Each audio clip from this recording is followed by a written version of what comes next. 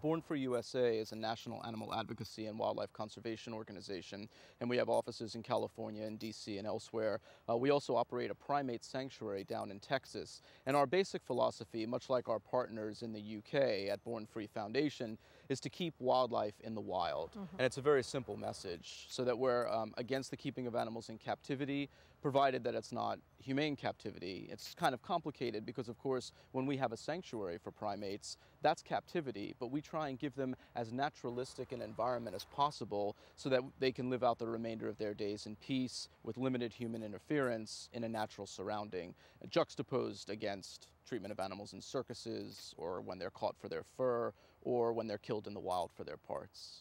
I want to talk a little bit about zoos and circuses and your position on that and ask you whether animals can really be kept humanely and safely in those conditions. Well, I think under certain circumstances you might be able to. I mean, the bottom line is that the way I see the modern zoo is that it's more for the human visitor than it is for the animals. And as long as it's created that way and run that way, it's not going to be a humane enterprise. And so we really have to, I think, break the entire zoo mold and start over again. What I could see is that zoos eventually evolve into sanctuaries mm. where they're not breeding animals, they're not importing them into the, from the wild, but they're actually serving as rescue facilities so that when someone is caught with tigers in their backyard and they're confiscated, they have a place to put that animal that can better attend to their needs than what they had before. Or if a bear cub, for example, is orphaned in the wild, there's a place for that animal to go when that is the most humane alternative.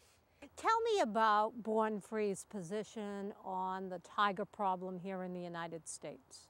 Well, it feeds right into everything I've been talking about in terms of keeping wildlife in the wild. I mean, obviously, when people are keeping tigers in captivity, uh, these are apex predators, and you can't sort of breed that or take that out of the animal. So, no matter what construct you put a tiger into, when that tiger is in captivity, and more importantly, when that tiger is in captivity around humans, it's a recipe for disaster. Yeah. And so, part of our situation is trying to keep them uh, protected in the wild, but also out of human hands here in the United States. And and, and so we fight against the exotic pet trade, where people have tigers in their backyards, their apartments, their living rooms, literally, because we know the human interactions that that causes and the fatalities and other injuries that come as a result.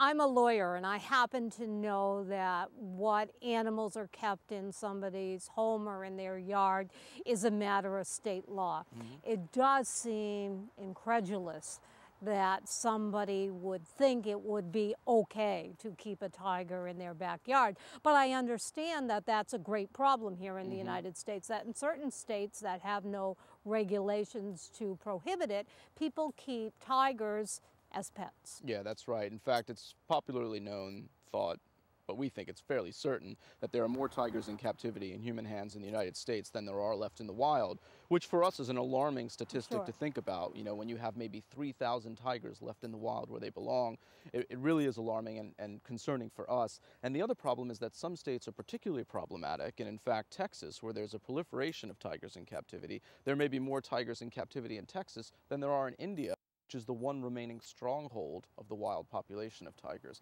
So it really is incongruous to me how A, people could want to keep these dangerous animals, and B, that states would allow these animals yeah. to be kept. The why of that. Why, why exactly. would you want a tiger in your backyard kept in a little tiny enclosure? Why would you want to do that? Well, I think I can kind of understand that part of it. And, and it, it, it goes as, like this. Either it's because you want to have the biggest, baddest animal on the block, and it used to be the Doberman, and then it was the Rottweiler, and now it's the lion cub or the tiger cub, and that eventually grows into a pretty large and domineering animal.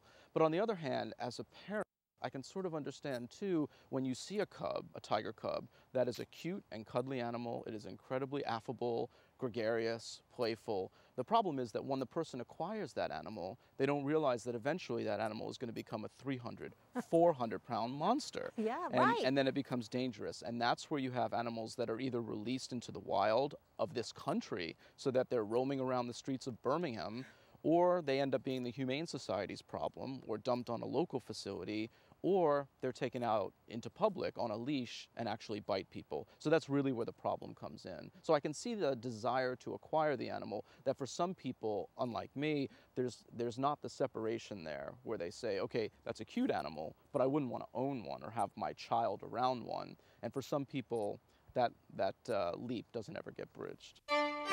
This excerpt is brought to you by the Massachusetts School of Law, the leader of reform in legal education and a leader in multimedia education for the public. To view the full interview and for a full listing of MSL's programs, log on to mslaw.edu.